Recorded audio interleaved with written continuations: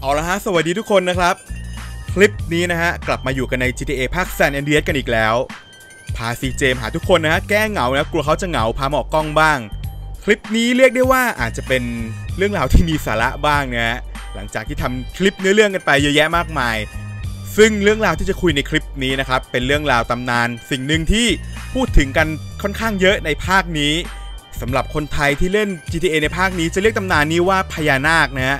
แต่สำหรับฝรั่งที่เล่น GTA ภาคนี้จะเรียกตำนานนี้ว่าเนสซี่นะฮะ เรื่องราวต้องย้อนกลับไปในปี 2005 นะครับ ในช่วงปีนั้นเนี่ยได้มีรูปถ่ายรูปหนึ่งปรากฏขึ้นมาบนโลกอินเทอร์เน็ตนะครับ นั่นก็คือรูปถ่ายรูปนี้ ซึ่งรูปถ่ายรูปนี้เนี่ยอ้างอิงนะครับ บอกมาว่าเป็นรูปที่ถ่ายได้จากทะเลสาบล็อกเนสนะฮะ เป็นทะเลสาบที่อยู่ในประเทศสกอตแลนด์ทางตอนเหนือนะครับ ถ้าเกิดคนไทยมองเห็นรูปนี้เนี่ยก็จะอารมณ์เหมือนประมาณว่าเราถ่ายติดพญานาคประมาณนั้นนะครับ และประจวบเหมาะพอดีนะฮะ มีผู้ที่เล่นเกม GTA ภาคแซนแอนเดียสเนี่ย พาตัวละครไปยืนแถวบริเวณริมแม่น้ำนะครับ เมื่อยืนไปสักพักนะฮะเขาสังเกตเห็นได้ว่า บริเวณผิวน้ำเนี่ย มีลายเงาดำปรากฏขึ้น เมื่อเขารวบรวมสมาธิและใช้จิตเพ่งดูแล้ว ก็นึกได้ว่าไอ้ลายเงาดำนี้เนี่ย มันมีลักษณะคล้ายกับตัวเนสซี่ที่ปรากฏได้เห็นในรูปเมื่อสักครู่นี้เลยนะฮะ และนี่ก็เป็นจุดเริ่มต้นนะครับ ที่ทำให้ผู้คนที่เล่นเกมนี้เนี่ย ต่างค้นคว้าหาวิธี ที่จะพิสูจน์ว่าตัวเกมเนี่ยได้ใส่ข้อมูลเกี่ยวกับตัวพญานาคหรือว่าเนสซี่เอาไว้ในเกมหรือเปล่านะฮะ เพราะฉะนั้นแล้วในคลิปนี้เราจะไปพิสูจน์กันว่า เราจะเห็นลายเงาดำบนผิวน้ำหรือใต้ท้องน้ำที่มีลักษณะคล้ายเจ้าเนสซี่บ้างหรือเปล่านะฮะแล้วถ้าเกิดยืนนานๆแล้วยังไม่เห็นเนี่ยเดี๋ยวก็จะอาศัยความทันสมัยของเทคโนโลยีเสกมันขึ้นมานะครับ ก็คือมอดนั่นเอง แต่ว่าในช่วงแรกที่จะไปนี้ยังไม่มี mod นะฮะ ก่อนที่จะไปที่ทะเลนะครับ แวะมาที่ safe house ตรงจุดนี้ก่อน ซึ่งตรงจุดนี้นะครับก็เป็นจุดหนึ่งที่จุดประกายให้ทุกคน สนใจว่ามันมีพญานาคจริงหรือเปล่านะฮะในตัวเกม นั่นก็เพราะว่ารูปภาพที่ใช้ประกอบฉากใน safe house หลังนี้นะครับ มีรูปภาพอยู่รูปหนึ่งเดี๋ยวส่องกล้องไปให้ดูนะฮะนั่นก็คือรูปนี้เลยนะฮะซึ่งรูปนี้นะครับเป็นภาพวาดที่มีอยู่จริงนะครับ เป็นภาพวาดที่อาศัยแรงบันดาลใจมาจากสัตว์ประหลาดในน้ำที่ทะเลสาบล็อกเนส หรือเจ้าเนสซี่นี่แหละฮะ เพราะฉะนั้นแล้วหลายคนก็สงสัยว่าทำไม Rockstar ถึงเอารูปนี้มาใส่อยู่ในเกมด้วยนะครับ ตกลงแล้วในตัวเกมเนี่ยมีเรื่องราวเกี่ยวกับสัตว์ประหลาดในน้ำหรือว่าเนสซี่หรือว่าพญานาคอยู่ในเกมจริงๆไหมนะครับ ตอนนี้ CJ งง ผมก็งง มาที่จุดแรกนะครับ จุดที่มีคนเคลมว่าได้เจอกับเจ้าเนสซี่นะฮะตรงจุดนี้นะครับมีผู้เล่นคนหนึ่งบอกว่าเขาเนี่ยได้เอาตัว CJ ไปนั่งอยู่บนเรือนะครับ และเขาก็ทิ้ง CJ ให้อยู่บนเรือเป็นเวลา 1 วัน บนโลกแห่งความจริงนะครับ ไม่ใช่เวลาในเกม และปรากฏว่าวันรุ่งขึ้นเนี่ย เขาพบว่า CJ ไปเกิดใหม่อีกทีที่โรงพยาบาลนะครับ ซึ่งเขาบอกว่า CJ ได้ตายจากการโดนเนสซี่ทำร้ายนะฮะแต่ก็ไม่ได้มีคลิปหรืออะไรมายืนยันนะฮะว่า CJ เนี่ยโดนเนสซี่ทำร้ายจริง ๆ เพราะฉะนั้นแล้วถ้าเกิดใครว่างนะฮะหรือว่าอยากหาเรื่องผลานค่าไฟเล่น ลองเอา CJ ไปนั่งบนเรือแล้วทิ้งเอาไว้ 1 วันนะครับ มาดูกันว่าวันรุ่งขึ้น คอมจะดับไหมนะฮะ คิดว่าแม่คงเดินมาปิดคอมให้นะครับ ถ้าเกิดใครเล่นอยู่ที่บ้านเนี่ย เดี๋ยวเรามาดูกันนะครับว่าตรงแม่น้ำตรงจุดนี้เนี่ยเราจะเห็นเงาดำตะคุ่มตะคุ่มเป็นลายที่คล้ายกับเนสซี่หรือเปล่านะครับ มีจุดไหนที่ดูแล้ว คล้ายๆ กับลายเจ้าเนสซี่ในรูปบ้างนะครับ จากที่ใช้วิชาการสังเกตนะครับ ทั้งเงยหน้าขึ้นข้างบนแล้วก็ลงไปในน้ำแล้วเนี่ย ยังไม่เห็นมีจุดไหนที่ให้ความรู้สึกเหมือนเจ้าเนสซี่เลยนะครับ แล้วก็ไม่มีจุดไหนที่ให้ความรู้สึกเหมือนว่าจะมีสัตว์ประหลาดอะไรโผล่ขึ้นมาจากในน้ำเลยนะฮะลองใช้เจ็ตแพ็กบินวนดูรอบๆนะเผื่อจะมีมุมไหนที่ส่องแล้วคล้ายๆกับเจ้าตัวเนสซี่นะฮะหรือว่าพญานาคก็ได้นะครับ ลองจินตนาการเป็นตัวพญานาคที่เราคุ้นเคยนะครับ เผื่อจะมีมุมไหนคล้ายๆ ข้างล่างมันก็โค้งๆเอียงๆตามแม่น้ำนะฮะไม่น่าจะใช่ตัวตัวเนสซี่หรืออะไร เท่าที่ดูแล้วตรงนี้ก็ค่อนข้างจะชัดเจนนะครับว่าไม่น่าจะมีอะไรโผล่ขึ้นมา มีใครสังเกตเห็นอะไรไหมฮะ เป็นลายเป็นเงาคล้ายๆ กับเนสซี่ถ้าเกิดใครเห็นก็คอมเมนต์ไว้ด้วยแล้วกันนะครับ ตรงนี้ผมไม่เห็นอะไรละเดี๋ยวเราไปอีกจุดหนึ่งที่เขาว่ากันว่าเป็นจุดหลักเลยนะฮะที่จะเจอกับเจ้าเนสซี่ จุดตรงนี้เลยนะครับ Fisher Lagoon จุดตรงนี้ที่เขาว่ากันว่าถ้าเกิดเรายืนส่อง หรือยืนดูนิ่งๆเนี่ยไปสักระยะหนึ่ง เจ้าเนสซี่เนี่ยจะโผล่ขึ้นมาทำร้ายเราจนตายนะครับ ซึ่งตรงนี้ผมก็ได้ยินแต่เสียงน้ำนะฮะ แล้วก็พยายามส่องดูลายบนน้ำอยู่ว่าตรงไหนมีจุดที่คล้าย ๆ กับเนสซี่หรือไม่นะครับ หรือว่าพญานาคแต่ที่เห็นคือมีเรือโผล่มานะครับ ผมว่าเผลอๆนี่เรื่องเรือนี่น่าจะน่าสนใจกว่าเนสซี่นะฮะเพราะว่าเรือมันไม่มีคนขับนะครับ เอ้าอยู่ๆคนขับโผล่มาฮะ บางทีเรื่องลี้ลับเรื่องนี้อาจจะเป็นน่าคนขับหายไปแล้วฮะหรือว่าโดนเนสซี่หรือพญานาคกินไปหรือเปล่านะฮะ เรามองไม่เห็น โอ้เรือก็หายไปด้วยครับ อาจจะเป็นพลังงานจากเจ้าเนสซี่หรือเปล่า เราคอยดูบนผิวน้ำให้ดีนะครับ ว่าจะมีจุดไหนที่คล้ายกับเจ้าเนสซี่หรือพญานาคบ้าง มีคนขับไหมฮะ ไม่มีนะครับ เอาละฮะ จุดนี้ จุดนี้ณตรงนี้นะครับเรือที่ขี่ผ่านตรงนี้ ไม่มีคนขับนะครับ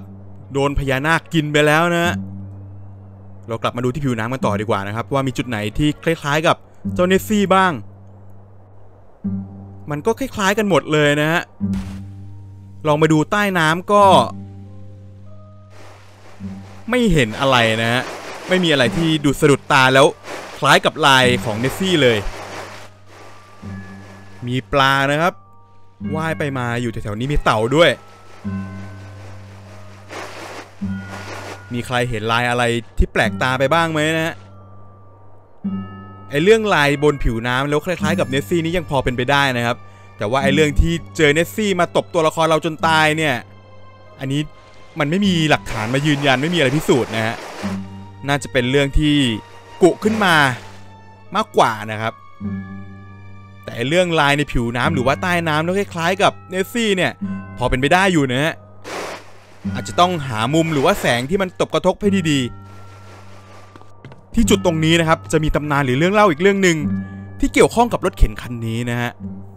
ซึ่งเป็นเรื่องเล่าเกี่ยวกับตำนานของนักฆ่ามือเลื่อย หรือที่เราเรียกกันว่าสิงหาศัพนะครับLeatherface นั่นเอง ส่วนเรื่องราวจะเป็นมายังไงนะครับ ก็เดี๋ยวค่อยเอาไว้คุยในคลิปอื่นแล้วกันนะฮะส่วนพญานาคหรือเจ้าเนสซี่นะฮะหลังจากที่ดำน้ำแล้วก็ดูรอบๆไปหลายทีแล้วนะฮะก็ยังไม่เห็นอะไรที่คล้ายกับ เจ้าเนสซี่หรือพญานาคเลยนะฮะ เพราะฉะนั้นแล้วเดี๋ยวผมออกไปลง mod เจ้าพญานาคก่อนแล้วกันนะครับ แล้วเดี๋ยวกลับมาดูอีกทีนึงนะฮะว่าหน้าตาที่คนเขาจินตนาการหรือว่าเจอกันเนี่ยมีลักษณะเป็นยังไงนะฮะ เดี๋ยวเราไปดูมอดกันนะครับ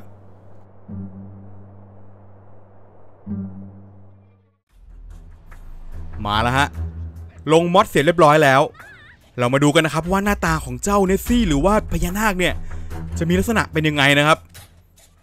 มันจะน่ากลัวหรือว่า น่าสะพรึงแค่ไหน รีบไปเลยสิเจ ก่อนที่มันจะหนีไป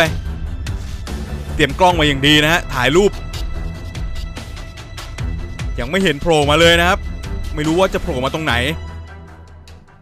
ไม่รู้ว่าจะมาลักษณะแบบไหนเหมือนกันนะฮะ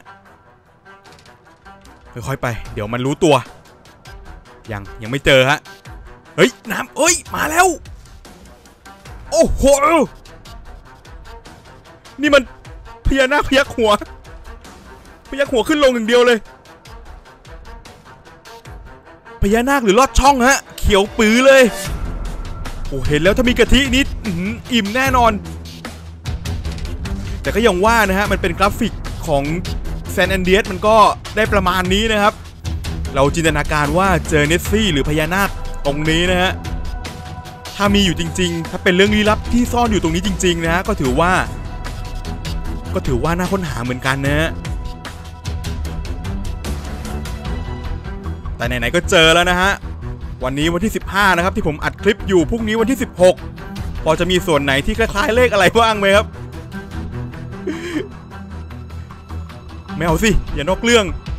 ไม่มีลำตัวเหรอครับทำไมเป็นแบนๆอย่างนั้น เหมือนโดนยึดเอาไว้กับท้องทะเลนะฮะ แล้วก็พยักหัวอย่างเดียว มีลายขาวพาดตัวนะครับ เดี๋ยวเราใช้เจ็ตแพ็กบินดูรอบๆดีกว่านะครับ ได้เห็นมุมกว้างว่าลักษณะตัวดูจากข้างบนแล้วจะเป็นยังไง ถ้าเกิดปิดด้านท้ายนี้ดูหัวก็คล้ายๆมังกรนะฮะ มังกรทะเลอะไรประมาณนั้น หายไปไหนแล้วอะเอานี้ไง ไปดูใกล้ๆฮะ ไปดูตรงข้างหน้าเขาใกล้ๆ หน้าตาเป็นยังไง ไปดูดวงตาเขาดีกว่า ตาจ้องตากันนี่ไง ไกลมากฮะ เอ้า เอาตายด้วยเหรอ โอ้โดนพญานาคตบตาย แสดงว่าเขาทำมอดออกมาให้ตรงกับเรื่องเล่านะฮะ ถ้าโดนแล้วต้องตาย บินดูไกลๆแล้วกันนะฮะไม่เข้าไปใกล้แล้วเดี๋ยวตายอีก ถ้าดูมุมสูงดูไกลๆอย่างนี้ก็โอเคเลยนะฮะ ดูลี้ลับดูน่าค้นหาเหมือนกันนะครับ แต่พอไปดูใต้น้ำแล้วมันเขาทำออกมา ไม่ครบทั้งตัวมันก็เลยอาจจะดูแบบ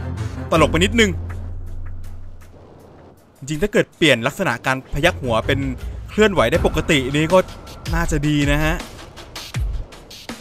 ตาสีเหลืองตัวสีเขียว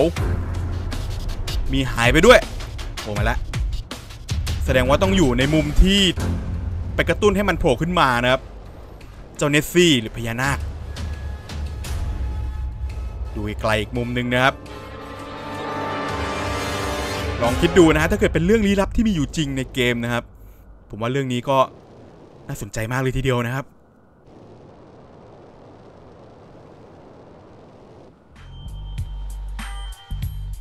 เอาละฮะก็จบไปแล้วนะครับสำหรับตำนานเรื่องเล่าเกี่ยวกับพญานาค หรือว่าเนสซี่นะครับ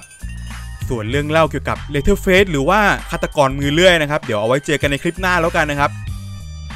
สำหรับโปรเจกต์ในเกมอื่นๆนะฮะก็มีคอมเมนต์ถามเข้ามานะครับว่า โปรเจกต์ในเกมอื่นไม่ทำแล้วเหรอ ยังทำอยู่นะครับ ตอนนี้ที่ดองไว้ เอ้ย ที่ทำเอาไว้อยู่เนี่ยก็จะมี Final 15 นะครับ ในเนื้อเรื่องเสริมที่เขาเพิ่มเข้ามาใน Windows Edition นะครับ แล้วก็ที่เล็งๆไว้อันหนึ่งก็ Far Cry ภาคที่ 5 นะครับ เดี๋ยวอาจจะดูก่อนนะครับ Far Cry นิดไม่แน่ใจเหมือนกัน ส่วน GTA ก็ยังทำอยู่นะครับ ก็คงสลับภาคกันไปแล้วกัน